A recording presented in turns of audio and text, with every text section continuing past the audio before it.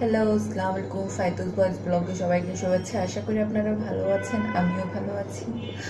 আর এই যে নিয়ে এসছি আমি ঘুমনি বানিয়ে ফেলেছি।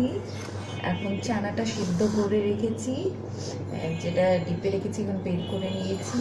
আর এখানে আমি পেঁয়াজ, ধনে পাতা, টমেটো, মরিচ কুচি করে রেখেছি। আর এখানে আমি টিকিয়ার জন্য করেছিলাম। তো ভাগ করে রেখেছি। আমার যেহেতু ঘরে দুইটা, তিনটা মানুষ, তো ওরাই খাবে। তো বাবু আমার বাচ্চাটা খাবে, ওর পাপা, ওর দাদুমা খাবে। তাহলে আমি এক একটা ভাগ করে নিয়ে নিব। একটা ভাগ করে নিয়ে নিচ্ছি। দেখতেই পাচ্ছেন। আমার সব কিছু রেডি করা হচ্ছে। এখানে সব রেডি করা হয়ে গেছে।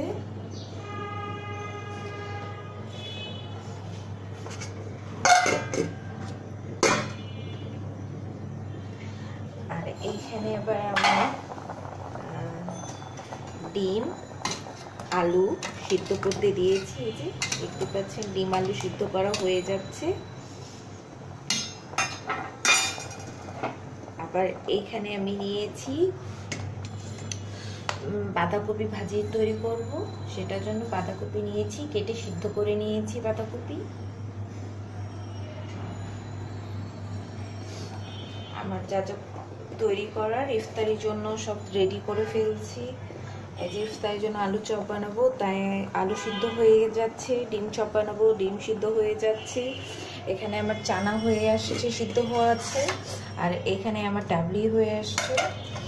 আর এখন যা প্রসেসিং করার সেটা করতে হবে। এখানে টিকিয়া তৈরি করব। এখন যেহেতু সবাই রোজা, টিকিয়া বানিয়ে রেখে দেবো। রাত এই যা টুকটাক কিছু কাজ করা। আমার চ্যানেলটা ভালো লাগলে সবাই লাইক করে দেবেন শেয়ার করে দেবেন। খুদাহাফিজ